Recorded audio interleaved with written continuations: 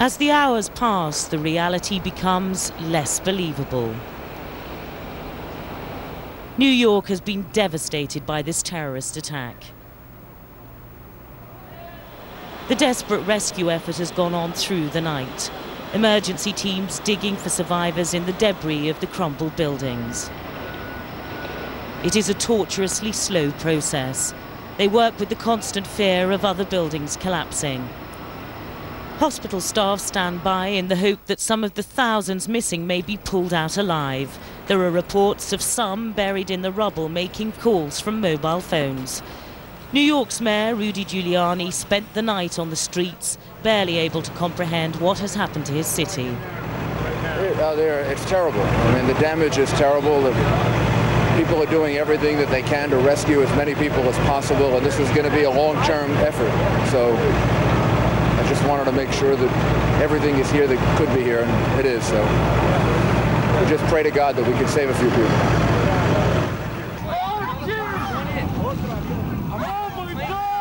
There is mounting shock and disbelief across America, and increasingly cold anger and calls for revenge.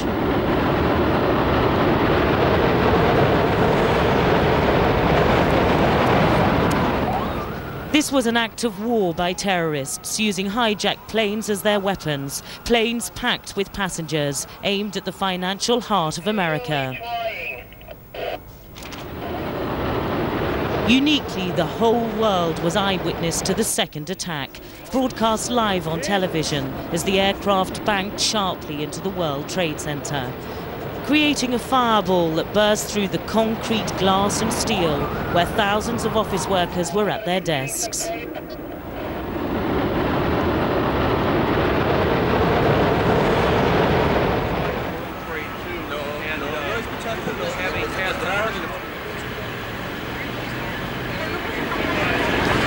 But their ordeal was only just beginning. As frantic attempts were made to evacuate the building, time simply ran out.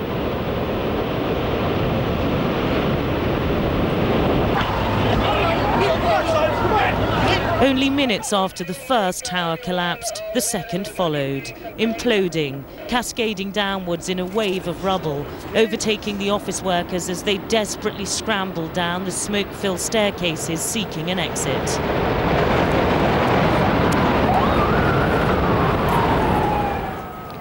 An amateur video recorded the scenes at the base of the tower as the rubble hit the streets.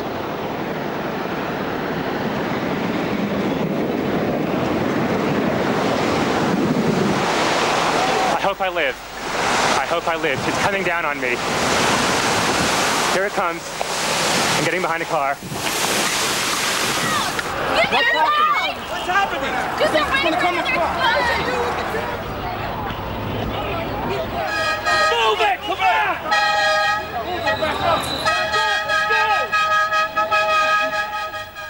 The affluent streets of South Manhattan were turned into a terror zone at the height of the rush hour.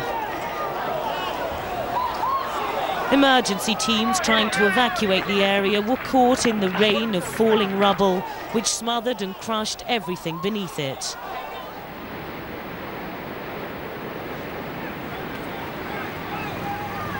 There was nowhere to hide. Mass panic gripped the streets as the crowds fled. We all started running. I, I, I ended up inside the Hilton somewhere. I was like trapped. I don't know where I was. I, I couldn't find my way out with all the smoke and the debris in there. I finally just closed the door behind me and covered it so no more smoke and debris would come in. And what I did was I called my wife and told her I love her.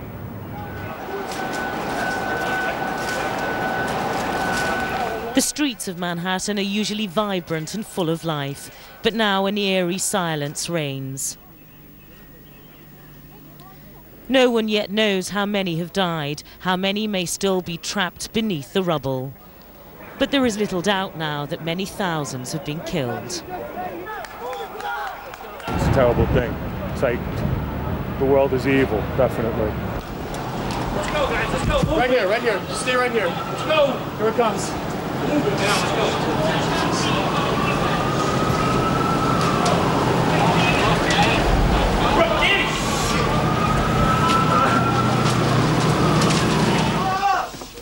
go. Money! Come on in. Thank you. I've never seen nothing like it in my life. World Trade, you got, think the phone company building got hit, everything. So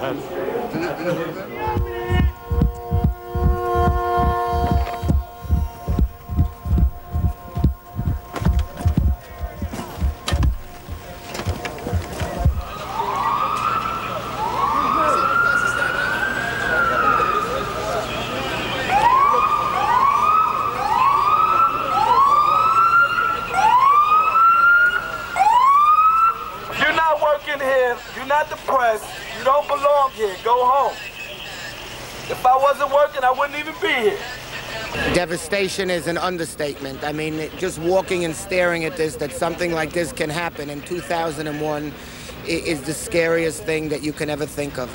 The loss of life, we were here and people were just jumping out of the 90th and 100th floor, one after the other. It- to even say this and to see this is, is you, you just have to see what you're talking about. It, it's beyond, beyond comprehension. America has never suffered an attack like this one. And even with emotion still so raw, thought is now turning to the reasons behind the atrocity.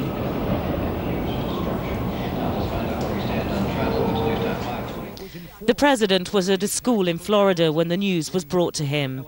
The shock all too apparent. He vowed to bring the perpetrators to justice. Everybody cross the street. The search is underway for those who are behind these evil acts. I've directed the full resources of our intelligence and law enforcement communities to find those responsible and to bring them to justice. We will make no distinction between the terrorists who committed these acts and those who harbor them. Do not hit anybody as you drive. Do we were done. I thought it was over.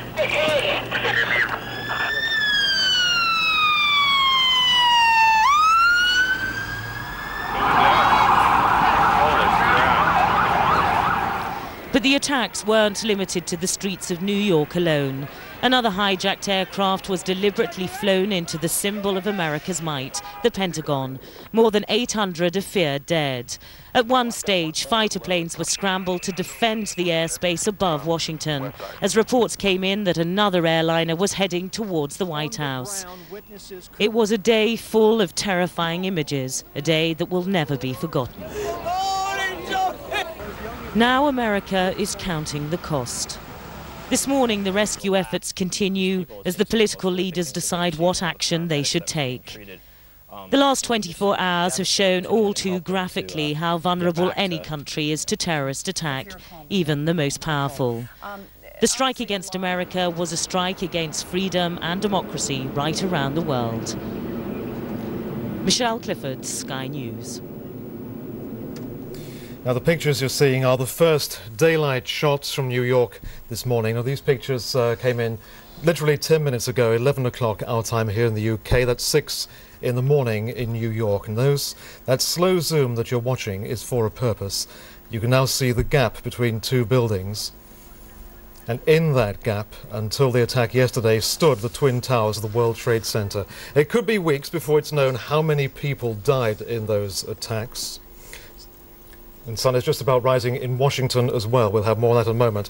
So far, it is known that 266 passengers and crew were killed on board the four aircraft. Up to 800 people may have died in the attack on the Pentagon. At the World Trade Center, 385 firefighters and police are reported missing. There's no clear estimate of the total number of dead in New York, but the figure could exceed 10,000. Well, rescue efforts, of course, are still underway, both in New York and at the Pentagon. Well, across the river for us is uh, Keith Graves, our Washington correspondent. Uh, behind the scenes, of course, Keith, President Bush and his security advisors must be trying to work out what their response to this is going to be.